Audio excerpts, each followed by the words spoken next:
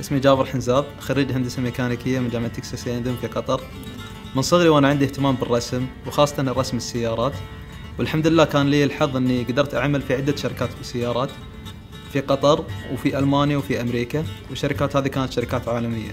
وأثناء عملي في هذه الشركات آه، اكتشفت مشكلة كبيرة إن المهندسين كمهندسين الميكانيكيين وأنا دراستي هندسة ميكانيكية دائما عندهم مشكلة مع المصممين اللي ما عندهم خلفية هندسية. وقالوا لي لو كان المصمم يفهم هندسة راح يكون هذا الشيء يسهل عملهم بشكل كبير. فيوم شفت أنا هذا الشيء وتذكرت أنا أصلا يعني شغفي بالسيارات والرسم.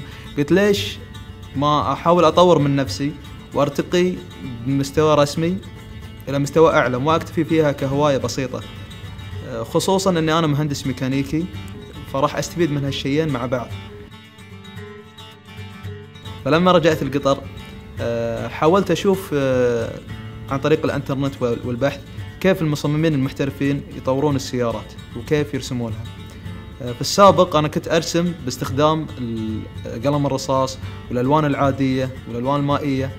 وكانت النتائج يعني تحتاج وقت كبير وتعب كثير عشان تطلع بنتيجة حلوة.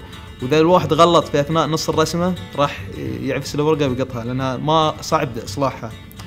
آه، فاكتشفت إن المصممين المحترفين يستخدمون آه، ال digital art أو الفن الرقمي في تطوير رسماتهم لأنها تعطيهم أول شيء سهولة كبيرة وشغل أسرع للوصول إلى نتيجه وثالثا آه، ال digital art أو الفن الرقمي صارت أدوات متطورة جدا لدرجة أن الواحد يقدر يرسم السيارة على الكمبيوتر ويصير شكلها واقعي. الواحد ما يقدر يفرق بين سيارة حقيقية أو رسمة. فيوم انعجبت صراحة وانبهرت وشفته شيء رائع إن أنا ممكن أستثمر وقتي فيه. ويسوى بالنسبة لي إني أطور نفسي في هذا المجال.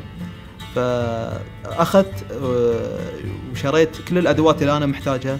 واعددت استديو خاص فيني يحتوي على كل الأدوات اللي أنا محتاج محتاجها سواء من كمبيوتر آه، في ال digital art الشخص يحتاج مساحة كبيرة مش آه، نفس مثلا شاشة صغيرة الكمبيوتر ما راح تكفي. فأخذت لي شاشة حجمها كبير مناسب بحيث إني أقدر أوضع أشياء مختلفة عليها. وشريت لي تابلت آه، ذو دقة عالية عشان أقدر أستخدم يعني مثلا يدي بكل أريحية. فارة ما تعطي نتائج 100% فاحتجت إني أشتري هذه الأدوات. بالإضافة إلى برنامج فوتوشوب وأنا شفت يعني مقاطع و designers محترفين آه، يتكلمون عن هذه الأدوات وقالوا لي بوجودها الواحد يقدر يوصل لأعلى المستويات بإذن الله. فبديت أتعلم على هذا آه، على هذه البرامج. ومع الوقت وأنا ما زلت أعتبر نفسي مبتدئ آه، إن شاء الله راح أقدر أوصل إلى المستويات المحترفة. وأنتج شيء أكون أنا فخور فيه وأقدر أعرضه للناس. آه، حاليا أنا في المراحل الأولى من تأسيس شركتي اللي هي عبارة عن شركة للتصميم والتطوير الصناعي. آه، واحد من أهم الأشياء في, في الإنتاج الصناعي إن شكل المنتج يكون شكله جميل ومقبول بالنسبة للمستخدمين. فأنا وجدت في الفن الرقمي آه، بداية ممتازة جدا إني أقدر أرسم المنتج أشوف شكله كيف راح يكون هل يعجب الناس أو ما يعجبهم لأنه راح يوفر علي وقت كبير قبل لا أصمم الهندسة وأنتج المنتج.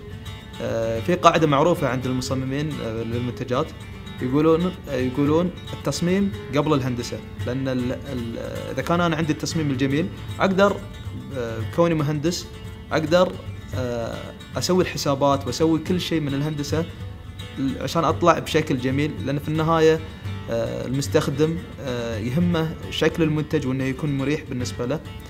فأنا قبل لا أنتج أي منتج أقوم برسمه باستخدام الأدوات الموجودة عندي وأشوف شكله وأتناقش مع الموظفين اللي معاي والشركاء آه، إذا عجبنا نروح للخطوات الثانية.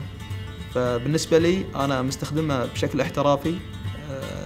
هو بدا معي كهواية لكن صارت هواية مفيدة وقدرت أستفيد منها.